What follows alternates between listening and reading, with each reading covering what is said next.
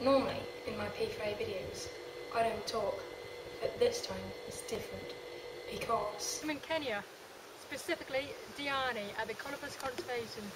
Come take a look around. So this little Find out more by clicking little chap came to us at four days old. We've had a hand rear him. He's about seven weeks now and we're just trying to get him used to being outside. He's finding it a bit tough at the moment. Baby colobus monkey. He's, he's, you can tell he's young by his white fluffy hair. And he'll get his black hair at about six months. six months.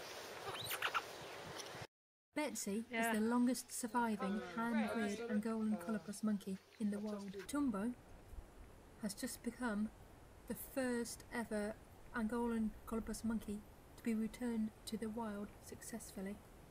This is Braveheart.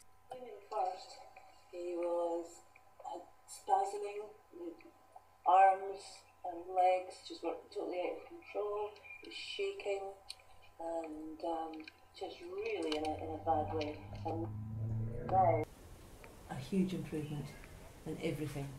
Poor animal was, uh, I think most of us wondered whether it would actually make it through its first few days. It's this is little Uji. He came in as a little orphan, only about six weeks old, and um, it's a difficult age. Too old to be totally hand reared, not quite big enough to be put in the big cage with the other monkeys.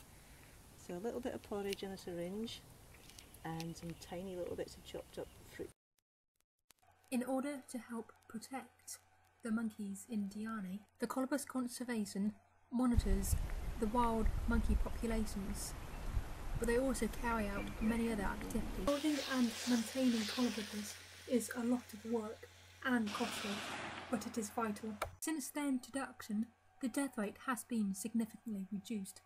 However, they need to be built in trees, and so there are many areas without a bridge. So we've just found this snare between a bit of wire between two trees, uh, shrubs.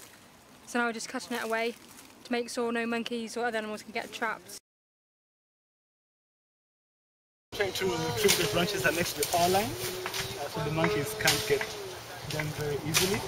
Yeah, the monkeys get electrocuted at least once a week, uh, so we have to do this on a weekly basis. Give us your money. We want to insulate these power lines.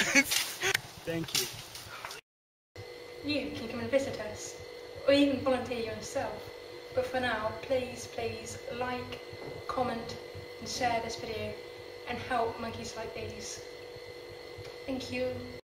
Find out more by clicking here. Happy P4A.